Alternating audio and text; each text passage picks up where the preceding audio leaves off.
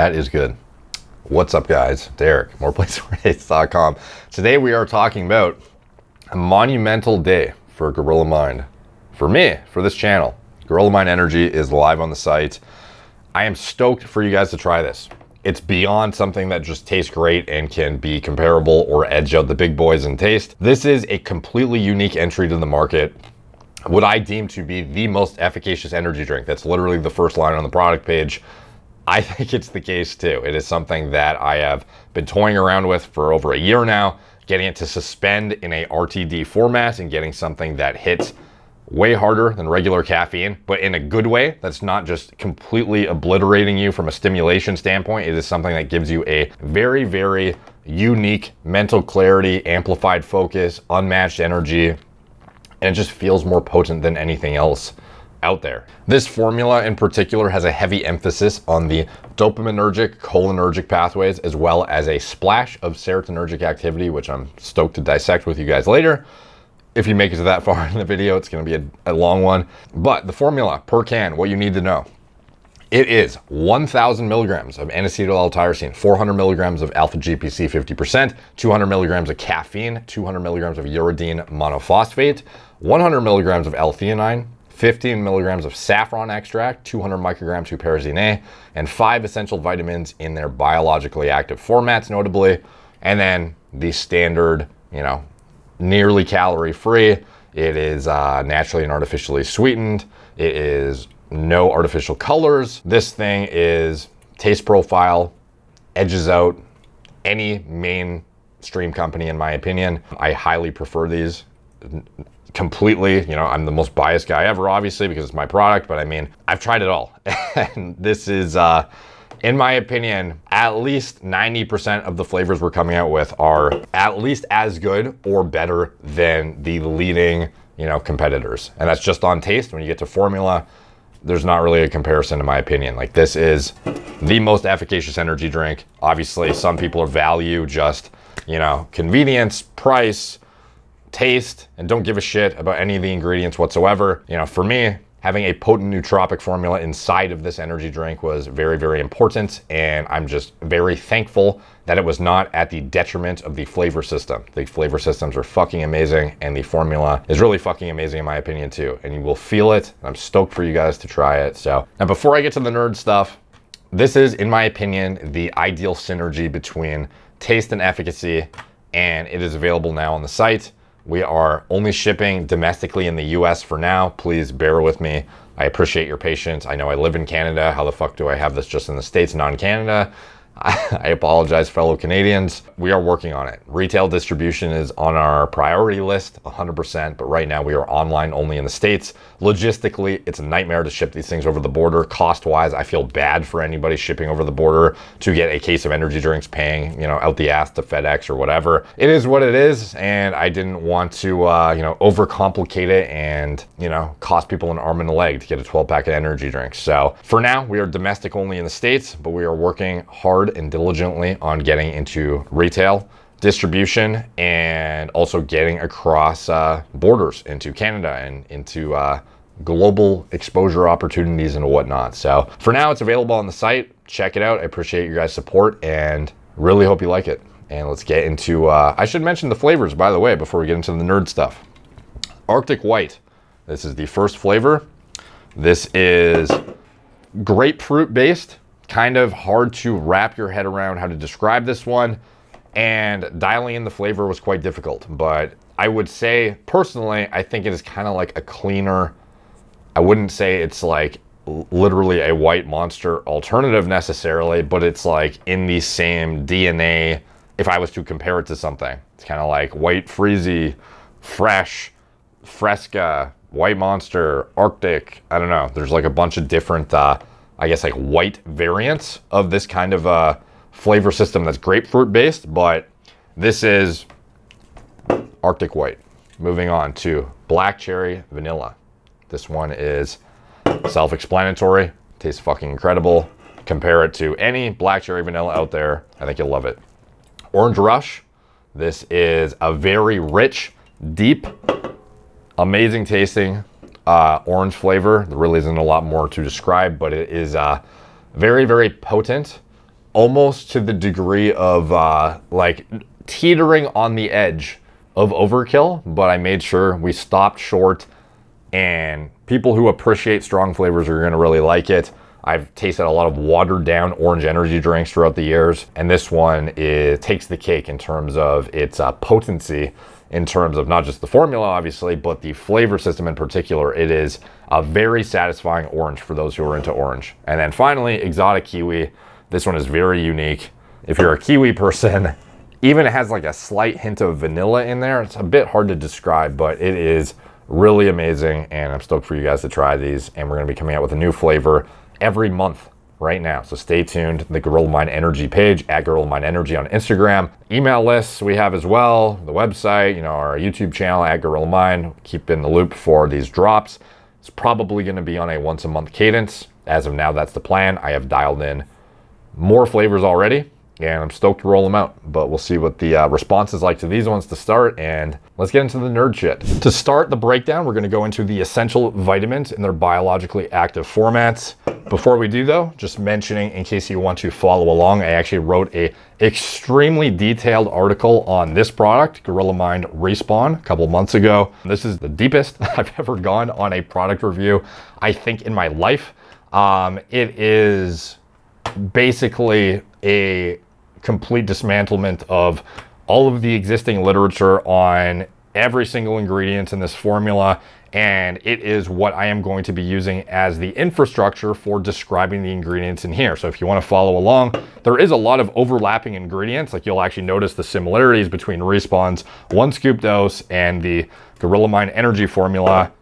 You know, very, very similar for a reason. I feel this is an incredible cognitive enhancing product and is why getting it into a, you know, the heart of that formula into a RTD suspension format was something I felt extremely worthwhile and I'm stoked to say we did it and managed to make it taste great at the same time. So anyway, if you want to follow along, there is a very, very long article that I will be pulling this information right out from, literally reading off of it with all of the citations listed in here. I'm going to be chucking up a lot of abstracts, a lot of different studies, highlighting stuff where I can, uh, throwing up graphs when warranted, but ultimately, if you want to dig in deeper yourself, this article is publicly available, published on my website, moreplatesmoredates.com, and you can follow along. If it looks like I'm reading, it's because it's literally in my article, so you can check it out if you want to follow along too. So getting into the essential vitamins. Why are they in here? What is the decision-making process behind including, you know, a couple B vitamins? One thing I've noticed over the years is the seeming trend of uh, kind of doing what is the industry norm. It seems to date there has been certain tried and true combinations. And when I say tried and true, I don't necessarily mean because they are the pinnacle of efficacy, but more so because some big company did it at scale. So other companies deemed it the way to go from a, you know, copycat mimicking their formula. This is what works. Therefore, this is what we're going to do kind of style. So, you know, the caffeine the taurine, the very select inclusion of certain B vitamins in their cheapest, non-biologically active formats. Like this is something you see time and time again, and ultimately the energy drink market is saturated with a bunch of different labels slapped on a can of what is basically caffeine, flavoring agents, taurine, and a couple B vitamins, and that is it. And that is like the furthest thing from what our formula is, and I'm very proud to say that.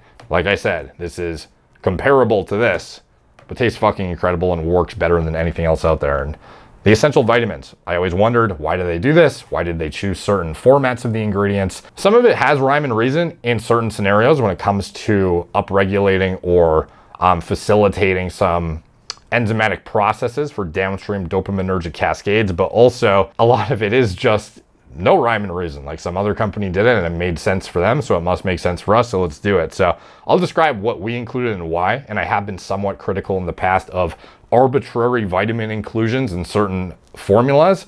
Typically, the reason being is that something like a vitamin C, antioxidants in a peri-workout nutrition window, for me, you know, attenuating potentially the hormetic stress of training, for example, not something I feel desirable or worthwhile or smart necessarily to do. It's just like might do nothing, but it's probably not worth the risk for whatever you get out of the vitamin C when you could otherwise use it in a different time of day. With this formula, it's a little bit different because I am not necessarily creating this to be used in a pre-workout scenario. It can be, certainly be and is very good at what it does, but it's not meant to be a pre-workout necessarily. This is for any situation, for energy, productivity, drive, etc. And including certain vitamins that otherwise might have not made it into a pre-workout, I didn't feel the exclusion was as necessary. Now, at the same time, though, certain B vitamins didn't make it into the formula and, you know, might have been one of the reasons why other companies didn't include it too, as I found out very quick that there is one B vitamin in particular that turns your formula literally piss yellow. So obviously, even if something is worth including potentially just to ensure some, you know, insurance policy of having enough uh, B vitamins present for certain enzymatic processes. Ultimately, most people should be getting these from their diet as is and could supplement if warranted. But, you know, even if something could be worthwhile, if it's going to turn the drink piss yellow and be unattractive to drink from a like visual standpoint, drinking something that looks gross is not that favorable wasn't worth including. So there were certain things I discovered during this process, worth noting my logic as I arrived to these. But some of these I deemed worthwhile enough to include, and I will explain why. So essential vitamins support various physiologic processes, including maintaining a healthy immune system, energy metabolism, and nervous system function. They cannot be synthesized in the body in adequate amounts and must therefore be obtained by the diet. In general, most diets are deficient in one or more essential vitamins, and the synthesis of several hormones and neurotransmitters in the body are reliant on satisfactory amounts of essential vitamins present. And one example, B vitamins, critical for dopamine synthesis, which is the most notable actually of this formula. But Notably too, stressful and or cognitively demanding situations can deplete neurotransmitters or lead to higher essential vitamin demands to support these cascades. So adequate amounts of these essential vitamins should be obtained through a high quality diet model with whole foods, etc.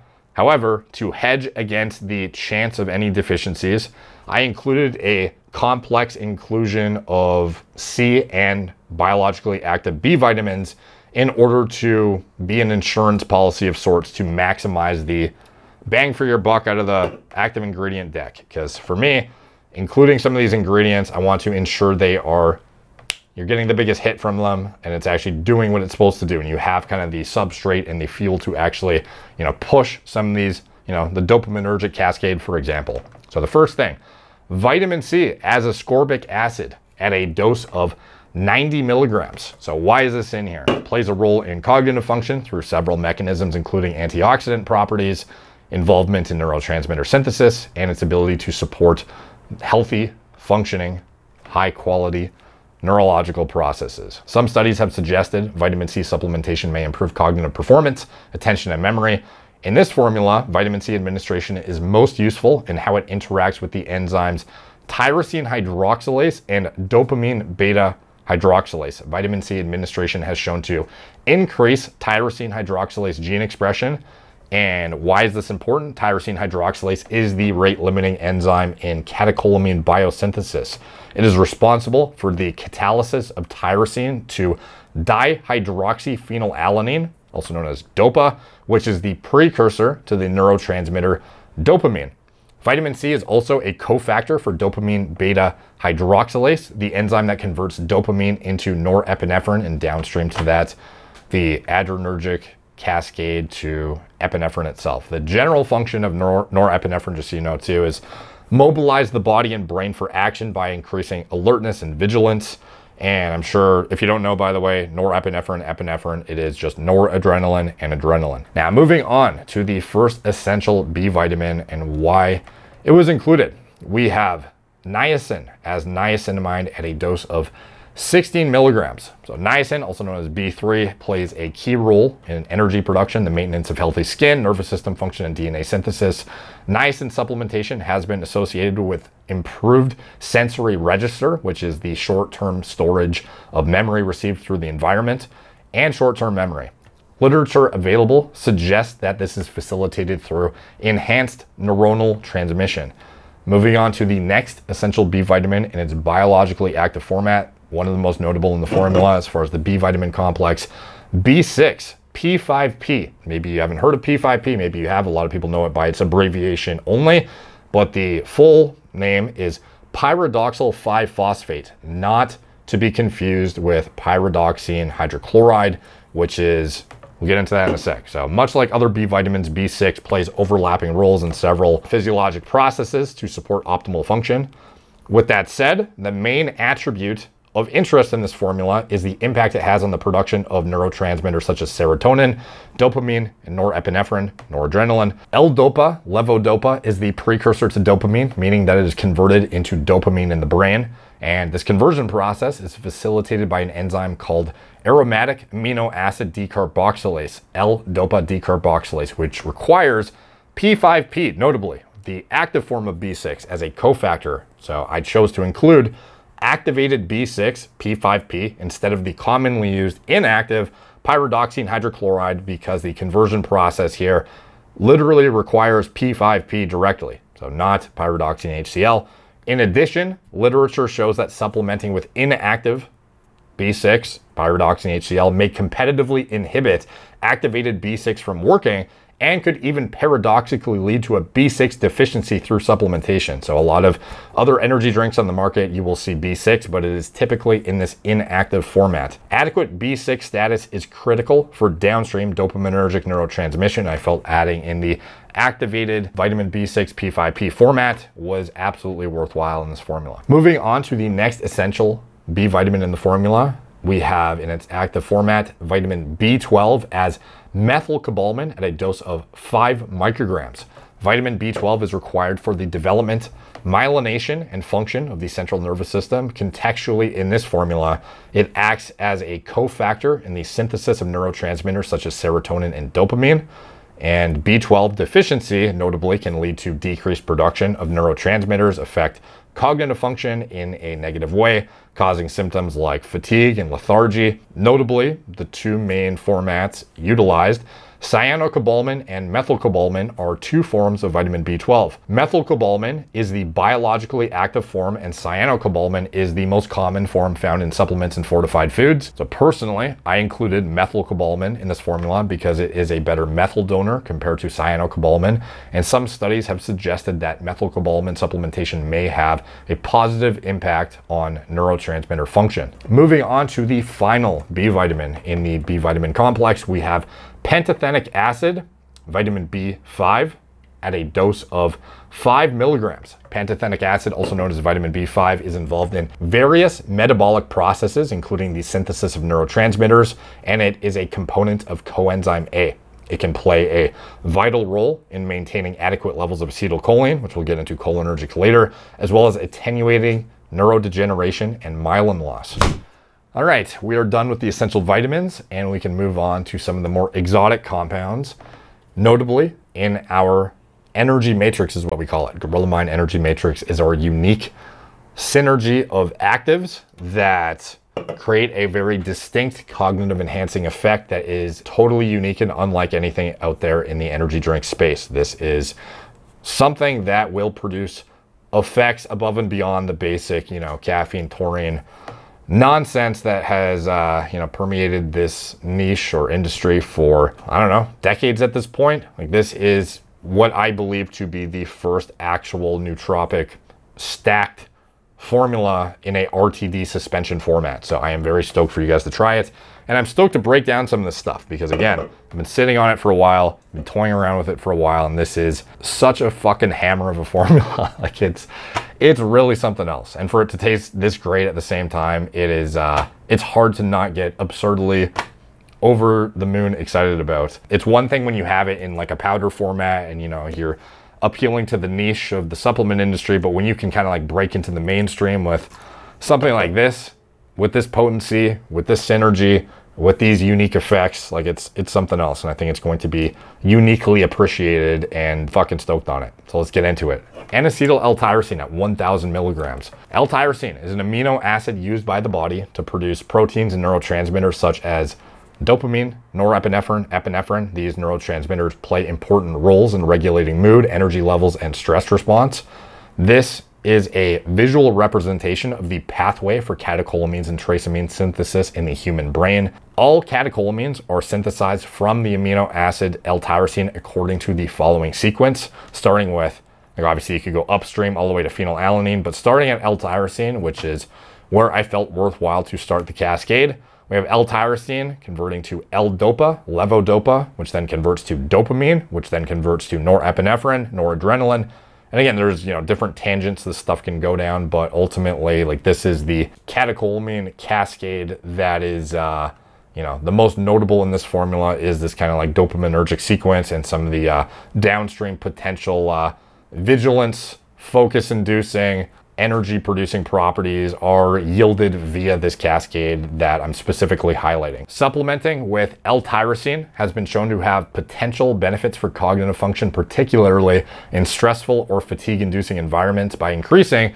the synthesis of these neurotransmitters. Now getting into some of the unique attributes of tyrosine and some of the studies conducted on it to actually parse out this data and find what it's capable of, including putting it head to head against some of the, the most potent drugs out there, like dextroamphetamine. A lot of people don't realize it's been pit against stuff that is literally pharma grade ADHD medication, essentially. So let's get into it. Effect on reaction time and vigilance. L-tyrosine usage acutely augments reaction time and vigilance and has been shown to attenuate performance impairments induced by high levels of environmental stress. Its effect on memory and military tracking performance was assessed as well, which is a very interesting study. Several studies have shown that L-tyrosine supports working memory even during periods of extreme stress. Another unique study, notable in this context, tyrosine was given to 21 cadets during a demanding military combat training course, and the cadets supplied with tyrosine performed better on a memory and tracking test.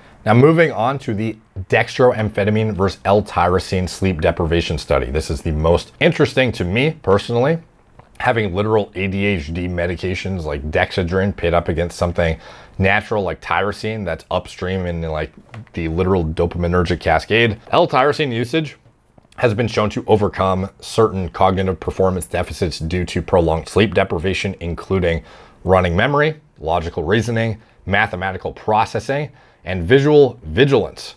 In this study, 76 healthy male volunteers who ranged in age 18 to 35 were sleep deprived for 30 hours and then given either placebo, dextroamphetamine. If you guys don't know, Adderall is comprised of two different forms of amphetamine. Essentially, we have dextro as well as levo. So dextroamphetamine, levoamphetamine in two different ratios. Dextro, if you know Dexedrine, that is literally just straight dextroamphetamine. Um, so if you're wondering what this drug is in particular, those are kind of like the trade names that would be probably contextually most relevant for people to kind of extrapolate out how potent this compound really is that L-tyrosine is being pit against. This is a drug used regularly for ADHD or people without ADHD using it for like the pinnacle of, you know, smart drug performance enhancement essentially. Phentermine, a very notable um, appetite suppressant that works through its, you know, it's like basically a very, very intense stimulant that I don't necessarily feel is that great for uh, what it does. It's uh, It obviously crushes appetite, but it does not produce the same dopaminergic, you know, activity as something like a dextroamphetamine. So it's uh, not as cognitive enhancing in my opinion from that aspect, but it is very potent nonetheless. And also L-tyrosine is being stacked up against that too caffeine, the beast of all, you know, compounds out there. Most people are already on caffeine and heavily reliant on it or L-tyrosine and metrics of cognitive performance were assessed. So expectedly L-tyrosine did not perform as well as dextroamphetamine in some tasks. However, it still attenuated cognitive performance deficits in several metrics caused by sleep deprivation, and this was wild to me, outperformed dextroamphetamine in mathematical processing at the 1.5 hour post-administration mark and logical reasoning task assessment at the 5.5 hour post-administration mark. So logical reasoning is a mental activity that aims to arrive at a conclusion in a rigorous manner. In this study, the logical reasoning performance measures were response latency per response and number of errors per session. So for a natural compound with a superior safety profile, readily available, not a literal amphetamine, it's a very promising outcome. uh, in my opinion. Moving on to its effect on cognitive flexibility in a double-blind, randomized, placebo-controlled design, 22 healthy adults performed a task in a task switching paradigm, and they used 2,000 milligrams of L-tyrosine, and it was found to promote cognitive flexibility, the ability to switch between thinking about two different concepts or to think about multiple concepts simultaneously. Now moving on to the comparison of L-tyrosine versus N-acetyl L-tyrosine. L-tyrosine is the most bioavailable form of tyrosine, or so I thought for a while. N-acetyl L-tyrosine is very inefficiently converted by the body to tyrosine after IV infusion. The graph above depicts arterial concentrations of N-acetyl L-tyrosine and tyrosine during intravenous infusion of N-acetyl L-tyrosine. As we can see here, micromole per liter concentrations of NALT going up to near 300 and tyrosine levels barely even budge in response to that. So in our first batch of Gorilla Mind in 2018, our nootropic formula, we had N-acetyl L-tyrosine in the formula based on marketing claims and hype I heard at the time, you know, similar to the, you know, different forms of creatine. This one's better because of you know, fill in the blank reason. Similarly, I heard things about N-acetyl L-tyrosine that kind of sold me on it. And then over the years, you know, educate yourself further, start digging into more data and literature, blah, blah, blah. I swapped out the N-acetyl L-tyrosine for straight L-tyrosine because of this data, the IV infusion study showing N-acetyl L-tyrosine not converting well to L-tyrosine. Now, my stance a few years ago was N-acetyl L-tyrosine was a waste of money, uh, marketing ploy. It's like a, you know, similar to a different creatine that supposedly is better, but it's just no better than like the, you know, basic creatine mono. However, over the past few years, I have heard a staggering amount of anecdotes of individuals getting clear benefits and effects comparable to tyrosine using N-acetyl L-tyrosine, and it was getting too much to ignore.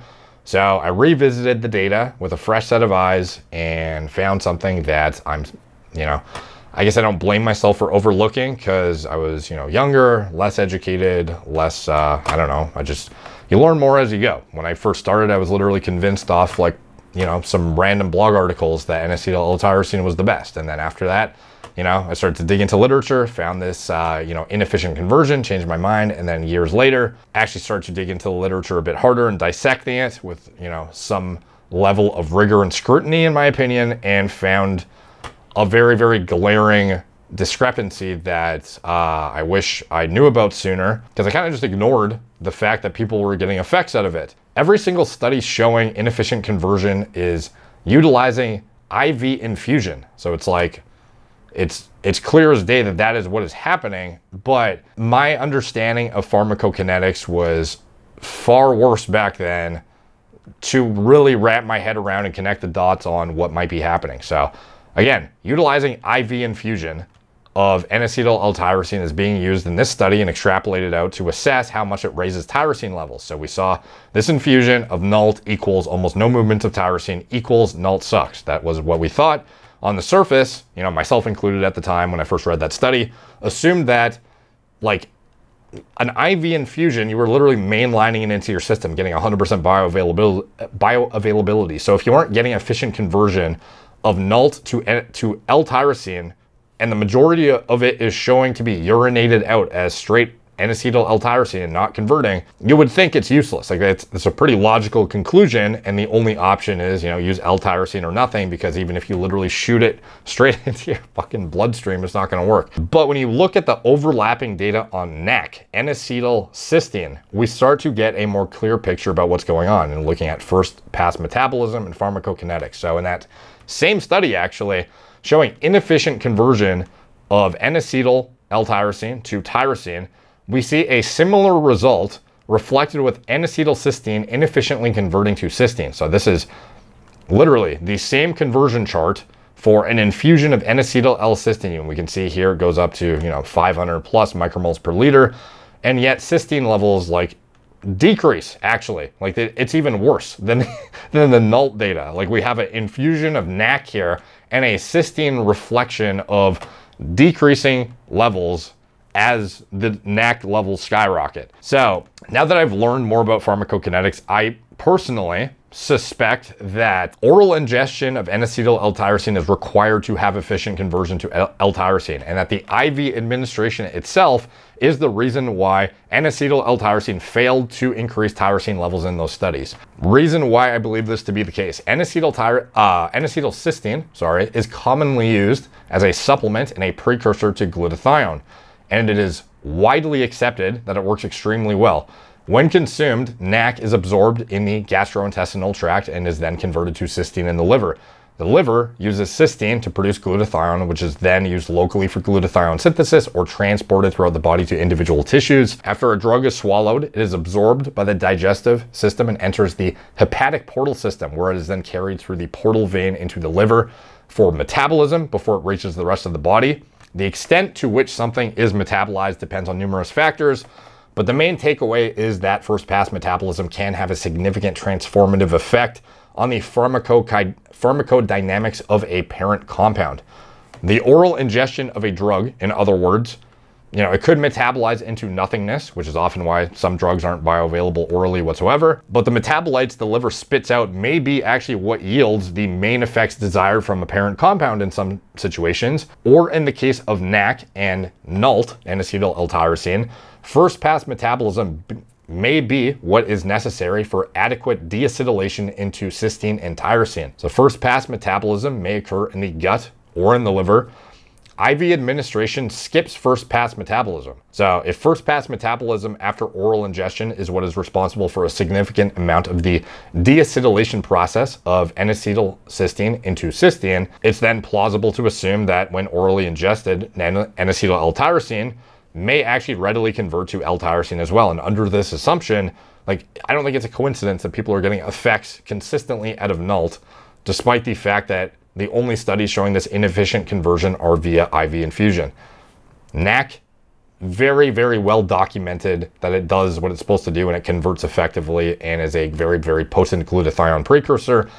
NALT, I suspect to be the same. In the study mentioned at the beginning of this subsection, after IVing N-acetyl L-tyrosine and N-acetylcysteine into humans, also known as NAC, the researchers concluded that, and I quote, under these conditions, the usefulness of N-acetyl L-tyrosine and NAC as precursors for the corresponding amino acids in humans is not apparent.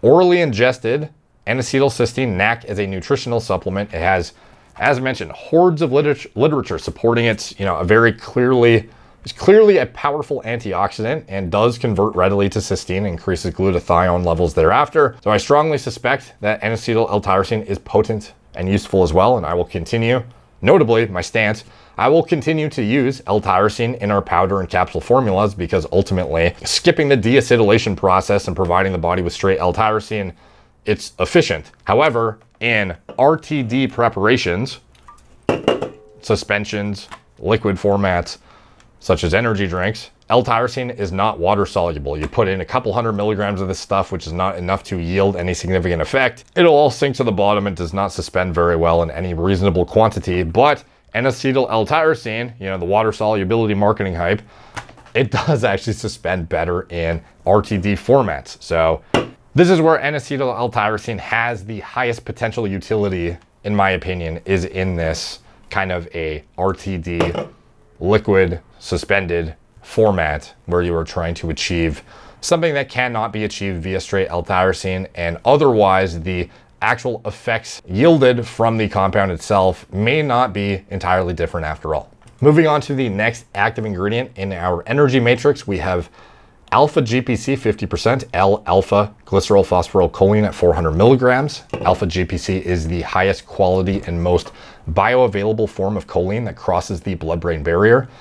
Things like choline bitartrate, um, a commonly used choline supplement, have been shown to have no cognitive enhancing effect in humans at all. And alpha GPC, on the other hand, though, has been shown to cross the blood-brain barrier and provide the brain with a rapidly absorbed form of choline. Choline is needed for the synthesis of cell membranes, lipid metabolism, DNA synthesis, homocysteine metabolism, and most notably to produce acetylcholine. The surge of quickly absorbed choline followed by the synthesis of acetylcholine thereafter helps support an array of functions, including but not limited to memory, focus, HGH production, and physical performance. And we'll get into the different attributes of alpha GPC now with some of the different studies. So we have first off, memory, focus, and overall cognitive function. A 1993 randomized controlled study compared the efficacy of alpha GPC and acetyl L-carnitine among 126 patients with probable cognitive decline, particularly memory loss. Alpha GPC consistently showed favorable effects in improving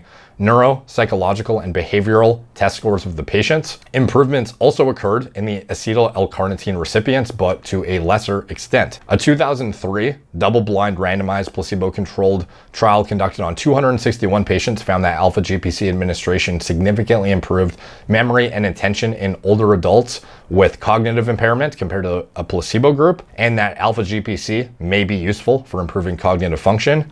The authors hypothesized that the clinical results gained with alpha GPC may be ascribed to both its effects on neurotransmission and its activity in slowing the age-related loss of neuronal cells. A 2007 review of cholinergic precursors found that alpha GPC administration appears to have a significant attenuative effect on memory and attention impairment caused by neurodegenerative disorders. It also showed that 1200 milligrams of alpha GPC is more efficacious than donepezil which is, and that's at its maximum dose too, which is a pharmaceutical acetylcholinesterase inhibitor prescribed for patients with mild to moderate Alzheimer's disease. So that is a very, very notable finding. A 2008 study found that alpha GPC administration improved attention and reaction time in healthy young adults, notably compared to a placebo group. The researchers suggested that alpha GPC may be useful for improving focus and attention in healthy individuals. A 2015 randomized double-blind placebo-controlled crossover design study found that 200 milligrams of alpha GPC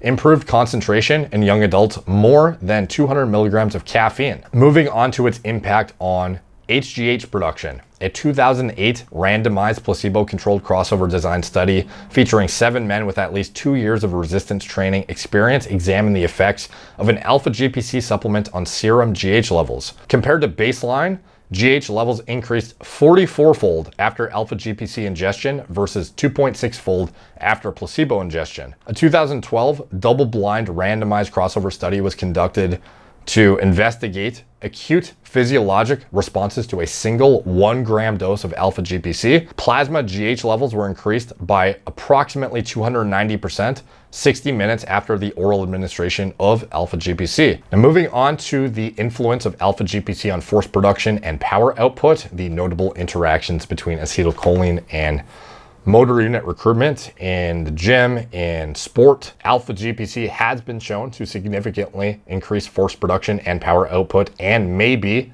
an effective ergogenic aid. A study published in the Journal of the International Society of Sports Nutrition investigated the effects of alpha GPC supplementation on isometric strength in 19 healthy resistance trained men. Participants had at least one year of resistance training experience and were required to have a current one rep max of at least 1.5 times their body weight. Participants were randomly assigned to take either 300 milligrams of alpha GPC daily for four weeks or a placebo daily for four weeks. The study found that alpha GPC supplementation resulted in a statistically significant increase in isometric strength compared to placebo. Alpha GPC group had a 14.8% increase in isometric strength, while the placebo group had a 4.6% increase in isometric strength. A 2008 randomized placebo-controlled crossover design study featuring Seven men with at least two years of resistance training experience examined the effects of 600 milligrams of alpha GPC versus placebo, its effect on explosive performance and post-exercise substrate oxidation. Compared to baseline, peak bench press force increased by 14% after alpha GPC ingestion versus placebo. A 2015 randomized double-blind placebo-controlled crossover design study with 20 young participants, 10 men, 10 women, around 22 years of age, measured the acute effects of alpha GPC supplementation on peak power output via a vertical jump test in comparison to caffeine or placebo. Vertical Jump peak power was 8.5% higher than placebo after taking 200 milligrams of alpha GPC, 7.5% higher than placebo after taking 400 milligrams of alpha GPC, and 2% higher than placebo after taking 200 milligrams of caffeine. The same study also measured the acute effects of alpha GPC supplementation on cognitive function in comparison to caffeine or placebo. One of the tests used to assess cognitive function metrics was the serial subtraction test. The SST is a clinical test used to test cognition and concentration. SST scores after taking 200 milligrams of alpha GPC were 18.1% faster than after taking 200 milligrams of caffeine and 10.5% faster than after taking placebo. Another 2015 randomized double-blind placebo-controlled crossover design study was conducted to determine if six days of supplementation with alpha GPC would augment isometric force production compared to a placebo. 13 college-age males used either 600 milligrams of alpha GPC or placebo, and at the end of six days performed isometric mid-thigh pulls, and an upper body isometric test. Alpha GPC had a significant effect on increasing isometric mid-thigh pull peak force. A 2017 study was designed to assess the efficacy of 250 milligrams of alpha GPC and 500 milligrams of alpha GPC in comparison to placebo and 200 milligrams of caffeine for increasing counter movement jump performance, isometric strength, and psychomotor function. Group differences were noted for maximum velocity and maximum mechanical power on the counter movement jump with 250 milligrams of alpha GPC demonstrating the greatest improvement in result. A depression in circulating TSH levels was noted with the half a gram dose of alpha GPC, suggesting that there may also be significant satellite dopaminergic interplay as it is known to increase central dopamine levels can reduce TSH levels. So this is thought to be another speculative kind of like off-stream mechanism of alpha GPC's impact on cognitive function.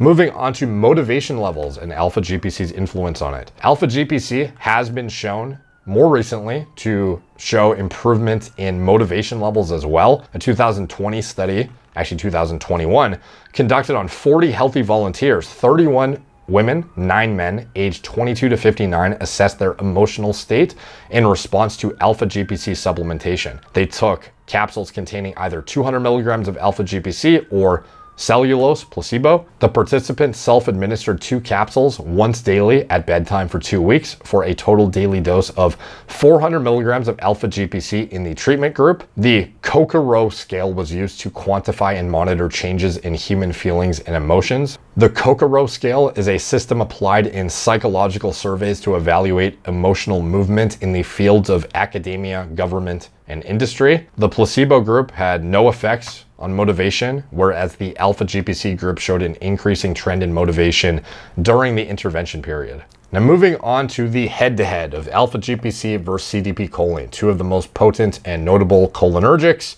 These are often pit up against each other and we chose alpha GPC and I'm gonna explain why. So in general, the main reason we would use either one or the other is to have them cross the blood-brain barrier to provide the brain with choline. That is the main goal. Alpha GPC, in my opinion, accomplishes this better than CDP choline. Alpha GPC is typically 50% choline by weight, whereas CDP choline is only 18.5% choline by weight. An open clinical trial carried out to compare the efficacy and tolerability of a gram of alpha GPC versus a gram of CDP choline found that alpha GPC in most tests possessed a statistical higher efficacy and an overall more satisfactory activity, and this is assessed by both patients and investigators when comparing to CDP choline. One reason why CDP choline, however, may be attractive is that it is a uridine prodrug and readily dissociates into both free choline and cytidine following oral ingestion. In humans, cytidine metabolizes into uridine, which is a very potent nootropic in its own right. Instead of including CDP choline,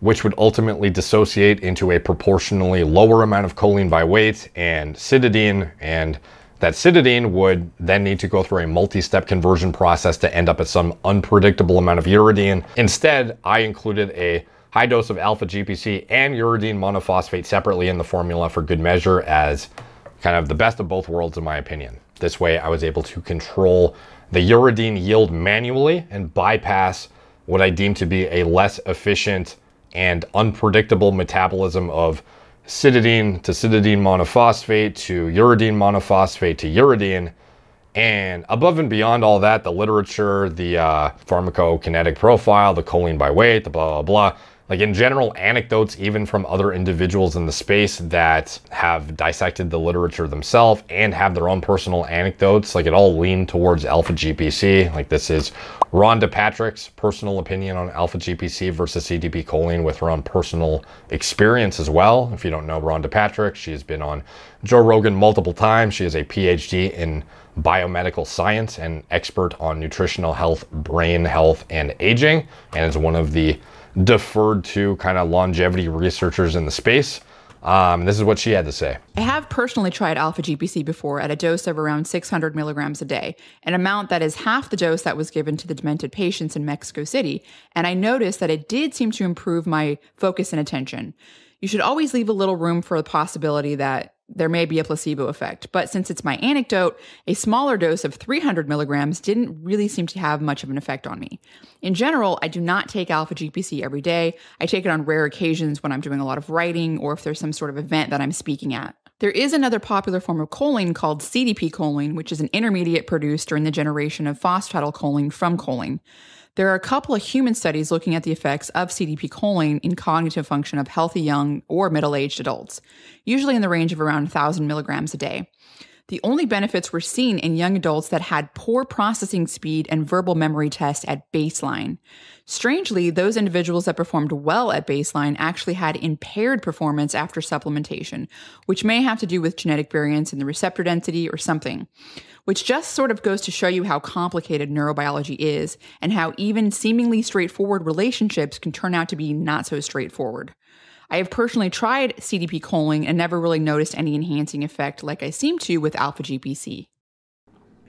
So that isn't to say that CDP choline is not good. It's excellent. I just prefer alpha GPC and felt the uridine on top was the best bang for the buck and the most efficacious synergy of uh, cholinergics, and that's actually not the only cholinergics. We'll get into the rest shortly and break down some of the interesting satellite benefits of uridine above and beyond its uh, you know base level cholinergic properties. But first, let's get into the next active ingredient in this formula, which is caffeine at 200 milligrams per can. Caffeine is the most well-known central nervous system stimulant on earth. It is well known for its potent effects on wakefulness, alertness, and attentional performance. When a person is awake and alert, very little adenosine is present in CNS neurons. Throughout the day, though, adenosine accumulates in the neuronal synapse, binding to and activating adenosine receptors found on certain CNS neurons. And the activation of adenosine receptors ultimately increases sleepiness. When caffeine is consumed, though, it binds to and antagonizes adenosine receptors, preventing adenosine from binding to and activating the receptor. The result of this, caffeine can temporarily prevent and relieve drowsiness and thus maintains or restores alertness. Of the multiple attributes, the primary driven through caffeine via adenosine receptor antagonism are the increases in feelings of wakefulness, alertness, and arousal. Caffeine can delay or prevent sleep and improve task performance during sleep deprivation and it's been shown that shift workers who use caffeine make fewer mistakes that could be a result of drowsiness. And that brings us to its effect on improved attention and concentration. Caffeine can enhance cognitive performance on tasks that require sustained attention and concentration. This effect is thought to be related to caffeine's ability to increase the release of dopamine and norepinephrine in the brain, which are neurotransmitters that play a role in attention and focus. A literature review of all available double blind placebo controlled studies that assessed acute effects of caffeine on attention tasks found that caffeine clearly improved performance on simple and complex tasks. The effect caffeine has on enhancing working memory is something that has also been noted. Caffeine has been shown to improve working memory performance, which involves the ability to temporarily store information in the brain while solving a problem or performing a task. An example of a working memory task could be holding an address in your head, for example, while you're also listening to instructions about how to get there. Caffeine also affects the cholinergic system, where it promotes acetylcholine release and acts as a moderate inhibitor of the enzyme acetylcholinesterase, thus inhibiting the breakdown of acetylcholine and influencing working memory and attention. Another notable attribute is caffeine's improvement of reaction times, allowing people to respond more quickly to stimuli. One study conducted on sleep deprived anesthesiology resident physicians assessed the effect caffeine had on their driving performance. Residency training in anesthesiology involves care of hospitalized patients and necessitates overnight work resulting in altered sleep patterns and sleep deprivation. 26 residents participated in the study and were randomly chosen to consume either a 160 milligram caffeinated or a non-caffeinated energy drink 60 minutes before driving in a virtual reality simulator immediately after six consecutive night float shifts. After a subsequent week of night float work, residents performed the same driving session in a crossover fashion with the opposite intervention. Psychomotor vigilance task testing was used to evaluate reaction time and lapses in attention. After consuming a caffeinated energy drink on conclusion of six shifts of night float work, anesthesiology residents had improved control of driving performance variables in a high fidelity driving simulator, including a significant reduction in collisions as well as slightly faster reaction times. Caffeine can also reduce feelings of mental fatigue, making it easier to stay focused and engaged in cognitive tasks. Moving on to dosage and the notable discrepancies in uh, dose response as well as uh, what makes sense for you. So the minimum effective dose of caffeine varies depending on several factors, including an individual's body weight, tolerance to caffeine, and sensitivity to its effects. Research suggests that the minimum effective dose of caffeine is likely around 40 to 50 milligrams, which is roughly equivalent to a small cup of coffee. However, other studies assessing just how low of a dose can yield a positive effect have found that surprisingly low dosages can still move the needle. A double blind study measured the effects of 0 milligrams, 12.5 milligrams, 25, 50, and 100 milligrams of caffeine on cognitive performance, mood, and thirst in adults with low and moderate to high habitual caffeine intakes. Interestingly enough, 12.5 milligrams of caffeine improved cognitive performance during both simple and stressful demanding tasks. This amount of caffeine is equivalent to about a quarter of a serving of tea and less than a quarter of a serving of coffee. On a body weight basis, 12.5 milligrams equated to 0.18 milligram per kilogram. At the time, that was reported to be the lowest dose of caffeine to reliably affect cognitive performance in human adults. Now, the dose for mental or physical performance may be slightly different than the minimum effective dose for just any effect at all. Following low to moderate, low classified as roughly 40 milligrams or 0.5 milligrams per kilogram, to moderate intake, which is typically around 300 milligrams or 4 milligram per kilogram, caffeine doses, alertness, vigilance, attention, reaction time, and attention improve. However, less consistent effects are observed on memory and higher order executive functions such as judgment and decision making. In terms of physical performance, the minimum effective dose of caffeine for improving metrics such as time to exhaustion, muscle strength, endurance in high intensity sprints has been shown to be around 3 to 6 milligram per kilogram of body weight, or roughly 200 to 400 milligrams for a 150 pound person. All that said, it is absolutely worth noting that some people may experience both cognitive and physical performance benefits at lower doses than the doses mentioned for physical performance enhancement and others may require higher doses to see an effect themselves. Generally speaking, healthy adults can safely consume up to 400 milligrams of caffeine per day. Moving on to the next active ingredient in the energy matrix, we have uridine monophosphate at 200 milligrams. So I mentioned uridine briefly already. Expanding on that, uridine monophosphate is a nucleotide that is involved in the synthesis of cellular membranes and the production of neurotransmitters. Data suggests that uridine monophosphate may improve cognitive performance via increased synthesis of brain specific phospholipids and the enhancement of synaptic plasticity. This compound has shown to interact in unique and synergistic ways with both the cholinergic and dopaminergic pathways. These effects are most notable when uridine is stacked alongside central nervous system stimulants dopaminergic drugs or other cholinergic compounds. Users often report being more productive, task oriented, and focused when taking uridine monophosphate, and reduced procrastination and brain fog are also common anecdotes after its use. Before getting into the attributes and literature on uridine, I just want to touch on the difference between uridine versus uridine monophosphate and the different names, uridine 5 monophosphate, UMP. Uridine is naturally present in some foods in the form of ribonucleic acid, RNA.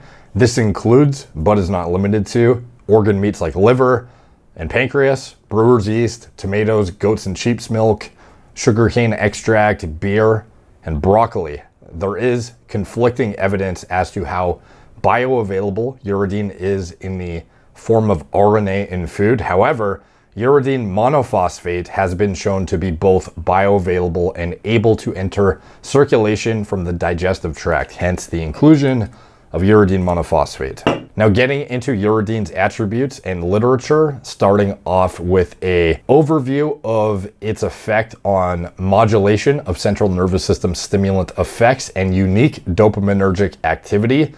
First off, uridine's effects in conjunction with amphetamines and cocaine coming in hot. in a study assessing uridine and stimulant induced motor activity, uridine treated rats exhibited a significant increase in sensitivity to amphetamine and cocaine during rotation tests. The neurotoxin 6 OHDA 6-hydroxydopamine is commonly used in animal models to selectively destroy dopaminergic neurons in the substantia nigra, a region of the midbrain that plays a key role in motor control to mimic the loss of dopamine neurons seen in individuals with Parkinson's disease. Unilateral lesioned 6-OHDA, 6-hydroxydopamine mice rotate because of the loss of dopamine-producing neurons in one hemisphere of the brain, which leads to an imbalance in dopamine levels between the two hemispheres. Dopamine is a neurotransmitter that helps to regulate movement, and the loss of dopamine-producing neurons in one hemisphere of the brain leads to a reduction in dopamine levels on that side of the brain. The dopamine depletion can cause this asymmetry in activity of the basal ganglia, a group of brain structures involved in motor control, and this resulting imbalance of activity between the two hemispheres leads to a rotational behavior in the mouse where it continuously turns in one direction. You can see here a visual exemplification of this. This is a rat 6-hydroxydopamine lesion model. This rotational behavior is a classic hallmark of the 6-OHDA unilateral lesion model of Parkinson's disease and is commonly used as a measure of motor deficits in preclinical studies. The greater the bias towards rotating in one direction, the more Parkinsonian the animal. Amphetamine works by increasing the release of dopamine from the presynaptic neuron and blocking the reuptake of dopamine thereby increasing dopamine levels in the synaptic cleft. This results in a surge of dopamine release, leading to feelings of euphoria, increased energy, and alertness. Cocaine, on the other hand, works a bit differently. This is working primarily by blocking the reuptake of dopamine, leading to an accumulation of dopamine in the synaptic cleft. This also results in increased dopamine levels in the brain, leading to feelings of pleasure, increased energy, and heightened arousal. Both drugs can have similar effects on dopamine, but amphetamine tends to produce a more prolonged and sustained increase in dopamine release, while cocaine has a shorter and more intense effect on dopamine levels. Additionally, amphetamine can also affect the release and reuptake of other neurotransmitters as well, such as norepinephrine and serotonin, which can contribute to its overall effects on mood and behavior. When amphetamine or cocaine is administered to unilaterally lesion 6-hydroxydopamine mice, these drugs can enhance the release and or block the reuptake of dopamine in the remaining hemisphere of the brain, leading to an even greater imbalance in dopamine levels between the two hemispheres. So as you can see here in this drug-induced rotational test, this further exacerbates the rotational behavior in the mice, leading to increased turning in the same direction. Paradoxically, despite exhibiting a clear potentiation of dopaminergic behavior, uridine has shown to slightly reduce amphetamine induced dopamine release in some instances as well.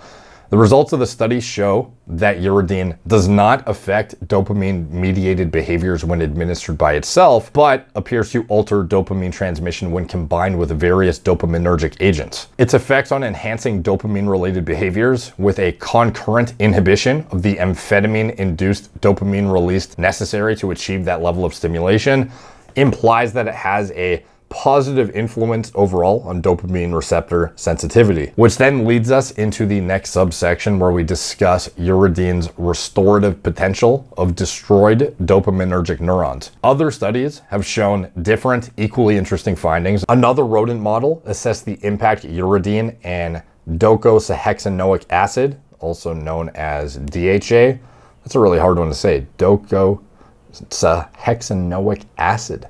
Damn mouthful and a half. EPA and DHA, like the DHA from fish oil, have the effects of uridine and DHA on dextroamphetamine treated rats with partial unilateral 6-hydroxydopamine induced striatal lesions.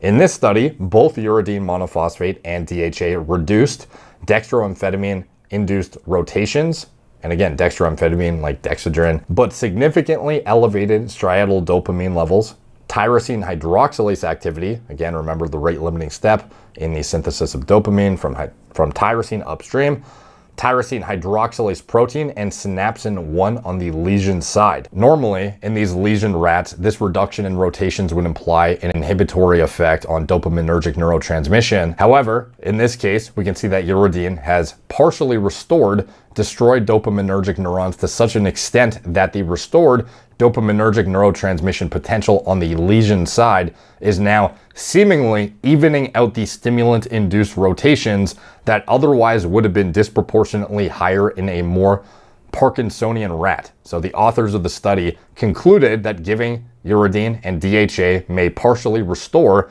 dopaminergic neurotransmission in this model of Parkinson's disease. This is not just promising for the potential efficacy of uridine and its complementary effects with other nootropics, but also for the potential dopamine receptor density slash sensitivity upregulation it could have in those who have a high stimulant tolerance, have abused stimulants in the past, or those seeking general cognitive support slash neuroprotection. Now moving on to the cholinergic effects. Uridine monophosphate is also a cholinergic agent and has potential synergy alongside choline containing phospholipids like alpha GPC, for example, and acetylcholinesterase inhibitors like huperzine A. The pathway in which uridine increases brain concentrations of phosphatidylcholine is called the Kennedy pathway.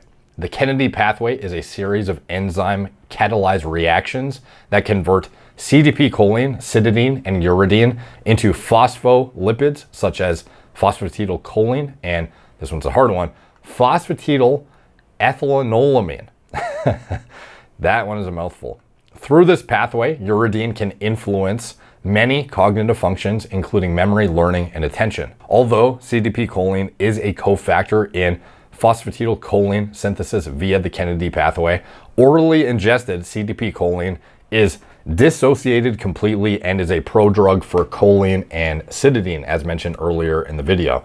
So oral ingestion of CDP choline does not raise plasma CDP choline levels at all. So instead, as you would expect, through this dissociation, it raises plasma cytidine and choline levels only. Moving on to uridine's effects on mood modulation, uridine has been shown to have anxiolytic effects, meaning it may reduce anxiety levels. It has also been shown to act as a potent mood stabilizer in depressed adolescents with bipolar disorder. Moving on to the next active ingredient in the Gorilla Mind energy matrix, we have L-theanine at 100 milligrams. L-theanine, L-theanine, one of those two. It was discovered as a constituent of green tea in 1949, and in 1950, it was isolated from Gyokuro leaves. I might be butchering the pronunciation of that. Gyokuro. Yeah, the main benefits of L-theanine are associated with promoting a relaxed state without causing drowsiness or sedation. After consumption, L-theanine crosses the blood-brain barrier and promotes an increase in alpha waves. This increase in alpha waves may be responsible for L-theanine's effects on stress and anxiety reduction. Theanine or theanine is structurally similar to the excitatory neurotransmitter glutamate and binds to glutamate receptors. It acts as an antagonist at the AMPA and kainate receptors and acts as a partial co-agonist of the NMDA receptors. Partial NMDA agonists bind to and activate the NMDA receptor, but also only have partial efficacy at the receptor relative to a full agonist. Theanine also blocks the reuptake of glutamate and glutamine via the inhibition of glutamine transporters and glutamate transporters.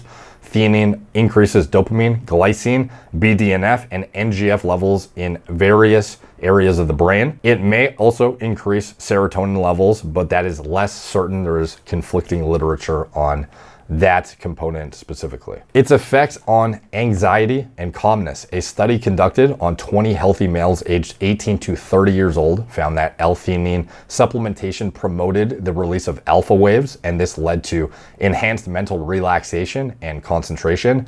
Another study conducted on 20 fifth year university students during pharmacy practice found that L-theanine supplementation had a notable effect on attenuating stress. L-theanine also influences attention and reaction time. In a study conducted on 18 healthy university student volunteers, L-theanine had a pronounced effect on attention performance and reaction time response in subjects prone to having high anxiety. It also seems to improve memory and attention in a randomized double-blind placebo-controlled study conducted on 91 people with minor brain damage. L-theanine improved memory, selective attention, and alertness during a memory test. L-theanine also appears to improve verbal fluency and executive function. In another randomized controlled trial, 30 healthy adults were given 200 milligrams of L-theanine per day or placebo. Verbal fluency and executive function scores improved after L-theanine administration. Stress levels also decreased and sleep quality improved after L-theanine administration. L-theanine stacks. This is one of the most commonly stacked nootropic ingredients, and L-theanine appears to have some synergy with certain CNS stimulants for example, the caffeine plus L-theanine stack is one of the most basic and effective nootropic stacks to date. And how you would stack them, how you stack L-theanine with caffeine for enhanced cognitive function. L-theanine may have cognitive enhancing effects, especially when taken with caffeine. A randomized controlled trial compared the effects of 50 milligrams caffeine with and without 100 milligrams of L-theanine on cognition and mood in 27 healthy volunteers. The L-theanine and caffeine combination improved both speed and accuracy of performance of the attention switching task at 60 minutes and reduced susceptibility to distracting information in the memory task at both 60 minutes and 90 minutes. Another randomized controlled trial investigated the effect of a combination of 97 milligrams L-theanine and 40 milligrams caffeine as compared to placebo treatment on cognitive performance, alertness, blood pressure, and heart rate in a sample of 44 young adults. The combination of moderate levels of L-theanine and caffeine significantly improved accuracy during task switching and self-reported alertness and reduced self-reported tiredness.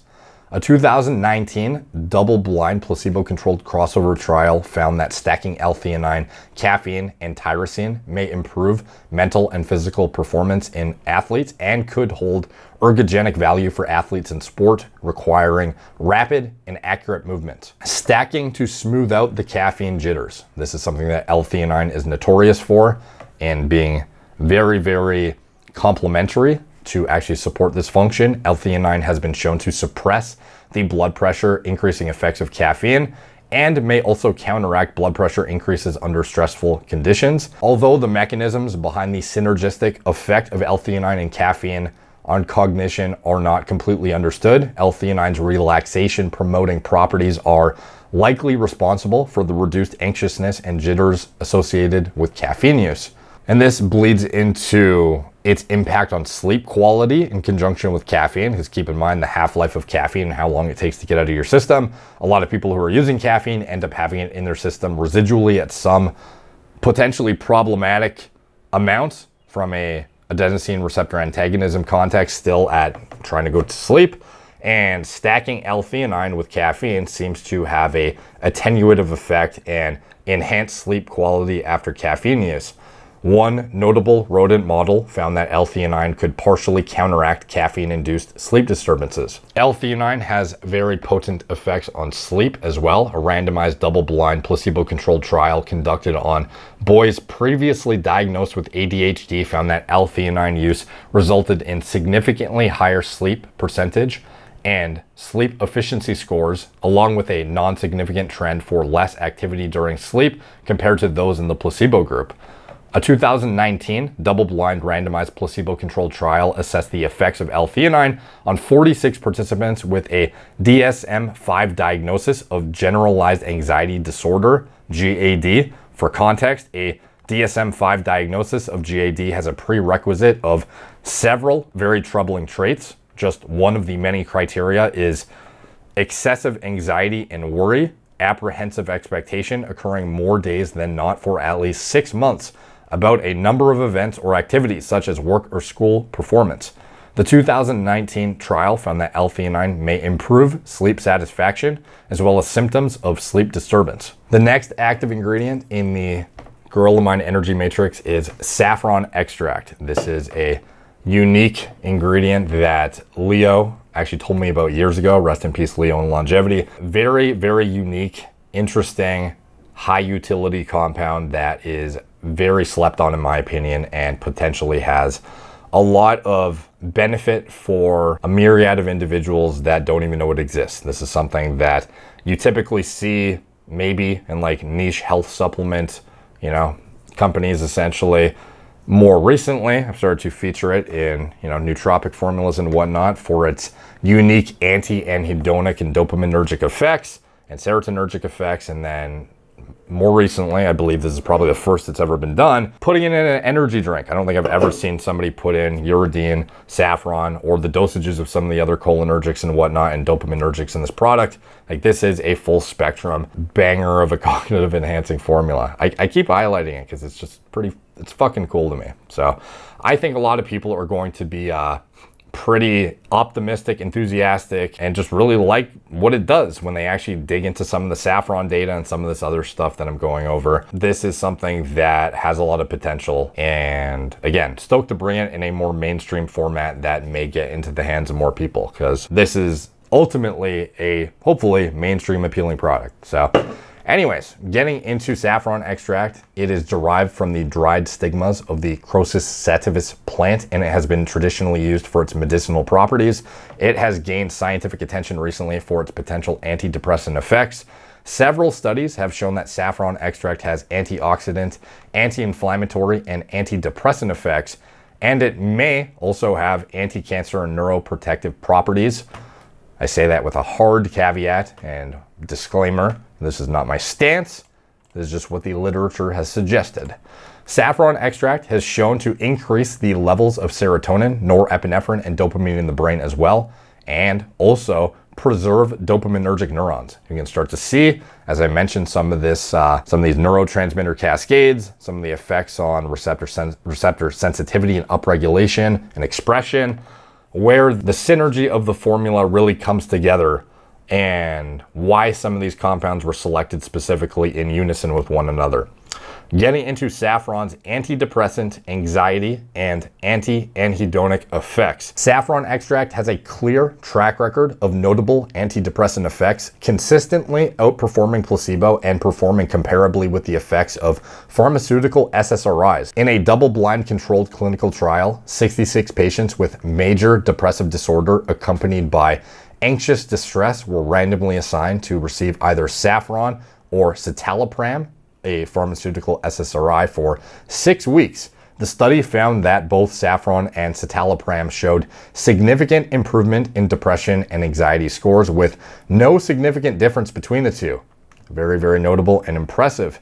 In a 2014 randomized double-blind parallel group study, 40 patients with a diagnosis of mild to moderate depression were randomly chosen to receive either fluoxetine at 40 milligrams per day, another pharmaceutical SSRI, or saffron extract 30 milligrams per day for six weeks. Saffron extract showed the same antidepressant efficacy compared with fluoxetine in patients who were suffering from depression. Another very notable and impressive outcome. These results can be seen consistently across the board when comparing saffron extract with pharmaceutical SSRIs. Here we have a table showing a bunch of different studies of saffron stacked up against pharmaceutical SSRIs and having comparable outcomes from a depression metrics improvement standpoint, but seemingly with a superior mechanism of action. Saffron extract has also been shown to ameliorate anhedonia, which suggests a more potent action in the regulation of dopamine than serotonin or other monoamines.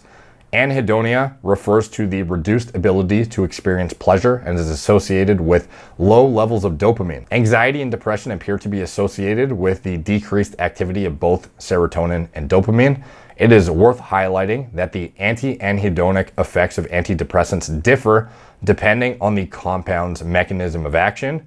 For example, saffron extract, despite consistently achieving similar metrics to SSRIs, achieves cognitive changes via different and potentially superior, depending on an individual's brain chemistry, mechanisms of action. Randomized controlled trials have actually been conducted using saffron extract as a treatment for SSRI induced sexual dysfunction. So, despite the fact that they are stacked, saffron being stacked up against, you know, citalopram or fluoxetine, having comparable, you know, depression score metrics and improvements, it is also something that is used to treat in some instances, side effects of SSRIs like sexual dysfunction and has anti-anhedonic properties and dopaminergic act activity that is just not seen with these selective serotonin reuptake inhibitors. This strongly suggests that the way saffron extract produces antidepressant effects as potent as pharmaceutical reuptake inhibitors extends past its serotonergic effects. Moving on to the dopaminergic activity and expanding on it. Saffron extract appears to interact with both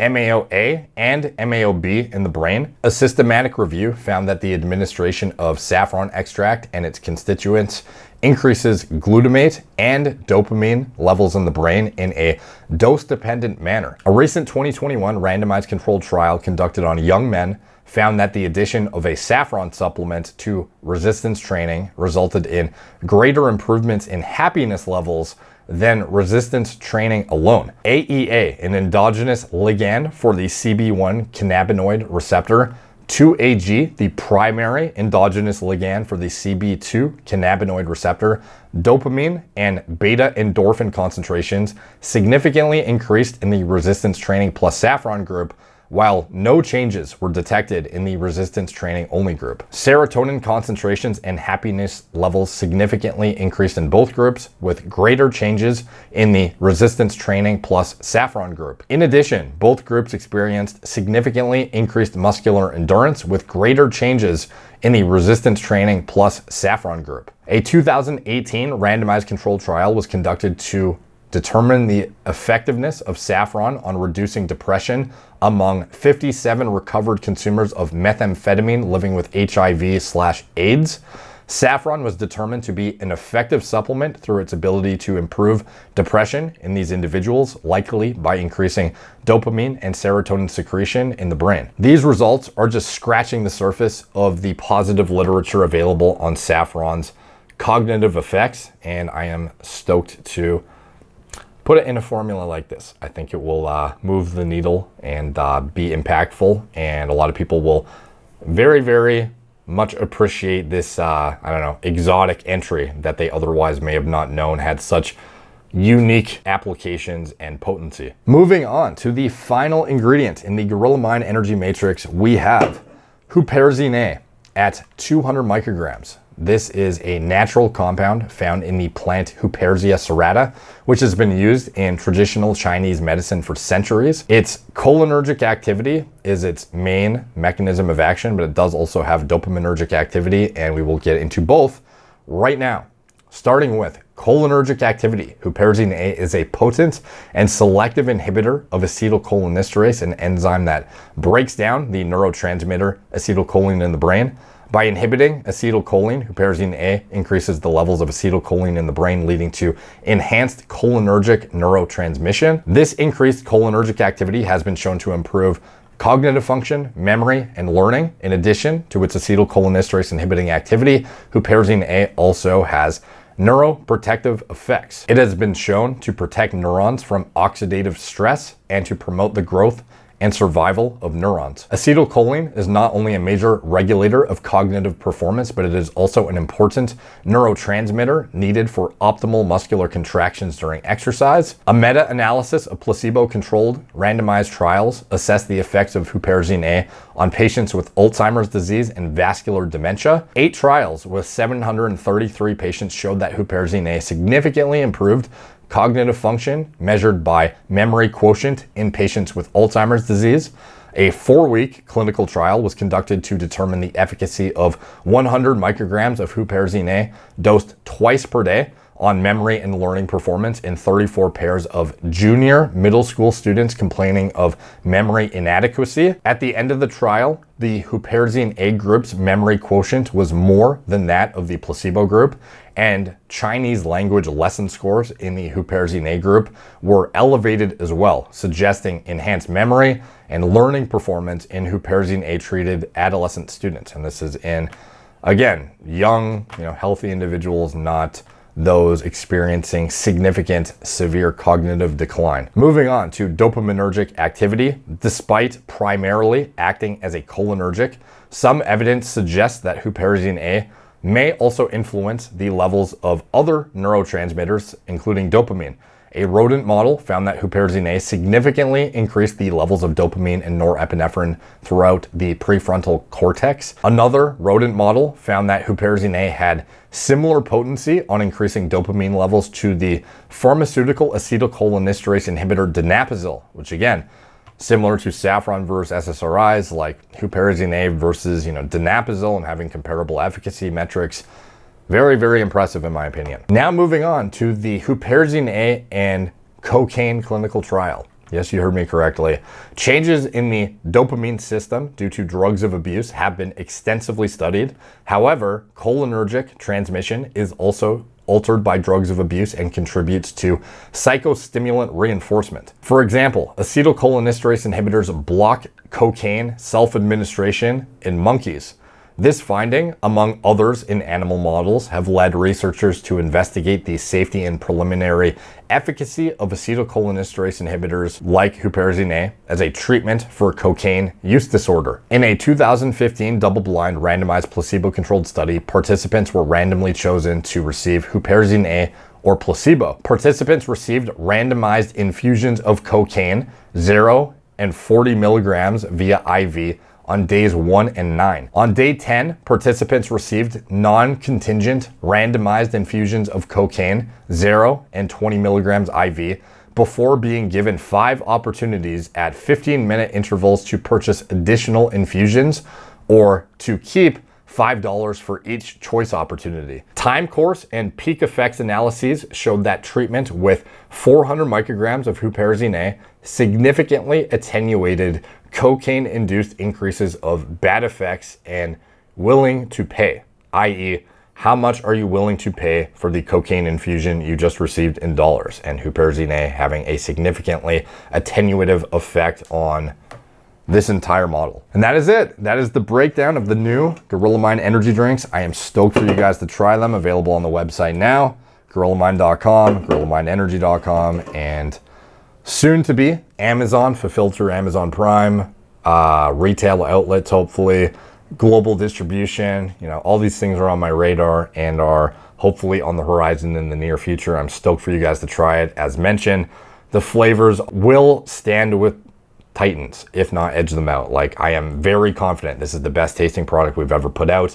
It will be favored over some of your current favorites, as bold as that is to say some of your favorites that you do drink on a regular basis, you will actually drink these and be like, holy shit, I didn't even think it was possible to do better, but you've one up them. That is how good this stuff is. And on top of that, like these could stand on their own with rinky dink caffeine taurine formulas. Like if you actually want, like we could have actually just put out, you know, the standard caffeine taurine, couple B vitamins, and just had a bit better taste. And I think these would have sold. Like with the brand name, they look fucking badass. I think the flavors are amazing. But on top of that, having the full blown nootropic infused uh, energy matrix that I developed for this formula and getting it suspended without affecting the flavor system and everything, like this is, I am absurdly optimistic about this. And I think you guys will love it. It has a very distinct effect that is unique to anything out there and has uh, cognitive properties that could be uh, very positive outside of the basic stimulate you out of your tree kind of thing most people seek out of energy drinks. Like this could have, like you heard me break down the saffron data, some of the um, you know, dopaminergic neurotransmission data. It's very, very promising and stoked for you guys to try it. Fucking thrilled about this product. I think you guys will love it too. Check it out. Link in description below.